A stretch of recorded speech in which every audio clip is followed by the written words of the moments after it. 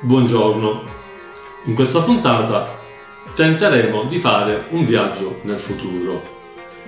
Cercheremo di usare un'ipotetica macchina del tempo per capire quale sarà il futuro del nostro pianeta, della nostra società tra 50 o 100 anni alla luce di quei dati e di quelle informazioni che ricercatori, scienziati e istituti di ricerca oggi ci mettono a disposizione con i modelli predittivi. Per fare questo viaggio ovviamente ci avvarremo di dati e di informazioni oggi in nostro possesso e sulla costruzione di modelli predittivi su questioni come i cambiamenti climatici, la perdita di biodiversità, crisi energetica, flussi migratori di alcuni popoli. In tutto questo cercheremo di ipotizzare quale sarà ovviamente il mondo del futuro. Capirete che è un procedimento facile a dirsi ma di esito incerto proprio perché nessuna mente al mondo e nessun laboratorio è in grado non solo di calcolare una tale mole di dati, ma anche di conoscerne il valore perché molti aspetti delle cose che ci circondano giacciono ancora nella penombra della scienza e dei suoi modelli previsionali. Partiamo dai cambiamenti climatici e dalle loro conseguenze. Secondo alcune teorie basate sull'elaborazione di milioni di dati, due scienziati, il cinese Yang Yang Xu e l'indiano Verbadran Ramantan, in una pubblicazione scientifica che aveva fatto discutere a suo tempo, ci hanno ammonito che già nel 2030 le emissioni di anidride carbonica raggiungeranno livelli mai visti negli ultimi 2 milioni di anni. Giunti in quella data, i governi tenteranno di porre rimedio, ma il tutto risulterà alquanto aleatorio, sia per l'improbabilità di cambiare in tempi così brevi i modelli socio-economici, sia per il sistema di sviluppo ancora saldamente ancorato alle risorse non rinnovabili come petrolio e carbone. Così nel 2050 il riscaldamento globale, secondo questi calcoli previsionali, raggiungerà i famosi 3 gradi, di cui 2,4 legati alle emissioni e 0,6 al cosiddetto carbon feedback, cioè quella reazione negativa del pianeta al riscaldamento globale. In questo scenario l'anno 2050 rappresenterà l'inizio della fine.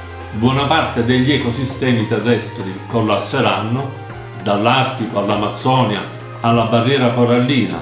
Il 35% della superficie terrestre, dove vive il 55% della popolazione mondiale, verrà investito per almeno 20 giorni l'anno da ondate di calore letali, mentre il livello del mare si innalzerà di alcuni metri.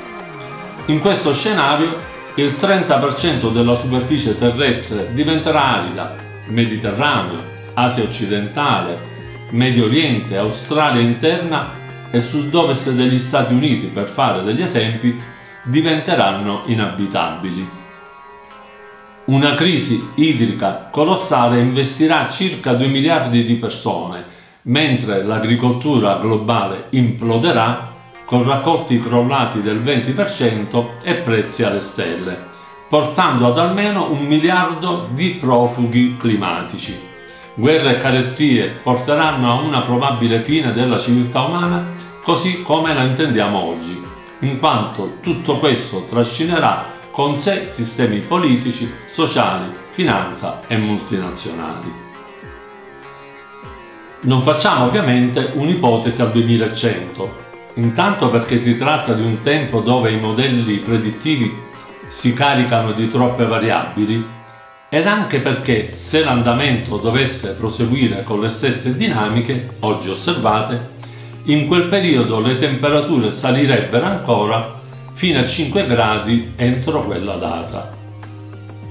Ovviamente la civiltà umana non farebbe in tempo a vederli, poiché la maggior parte degli scienziati ritiene che un aumento di 4 gradi distruggerebbe l'ecosistema mondiale portando alla fine della civiltà come oggi la conosciamo. Il vero problema è inoltre rappresentato da alcune soglie di non ritorno climatiche come la distruzione delle calotte polari e il conseguente innalzamento del livello del mare. Soglie di non ritorno molto pericolose che una volta oltrepassate trasformerebbero il climate change in un evento non lineare e difficilmente prevedibile con gli strumenti oggi a disposizione della scienza. Dopo il superamento di quei punti di non ritorno, il riscaldamento globale si autoalimenterebbe anche senza l'azione dell'uomo, rendendo inutile ogni tardivo tentativo di eliminare le emissioni. A questo proposito, soprattutto per gli scettici, ricordiamo che lo scioglimento dei ghiacciai e quindi delle calotte polari, la perdita di biodiversità la diminuzione delle rese agricole, la desertificazione ed altri fenomeni noti sono già in atto e soprattutto misurati da decenni e che tali informazioni incontrovertibili sono note a molti istituti di ricerca. La domanda è ma perché sta succedendo tutto questo?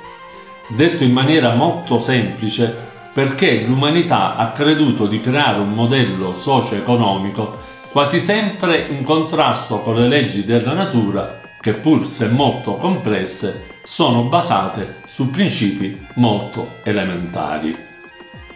Questi principi, che vedono nella diversità dei sistemi e delle specie il fondamento per un modello energetico e democratico più forte, sono stati totalmente disattesi dal modello economico e finanziario messo in piedi a partire dalla metà del XIX secolo creando una interferenza così forte tra il modello sociale e quello ecologico, così palese, da costringere per la prima volta nella storia un Papa, Papa Francesco, ad emanare un'enciclica, la Laudato Si, in cui ammonisce sulla necessità di ricreare una società basata su una ecologia integrale. Cosa dobbiamo aspettarci dopo un tale periodo? come dopo un grande cataclisma, società ed ambiente saranno alquanto provati, ma tutto ciò genererà una nuova cultura e soprattutto una nuova etica e spiritualità.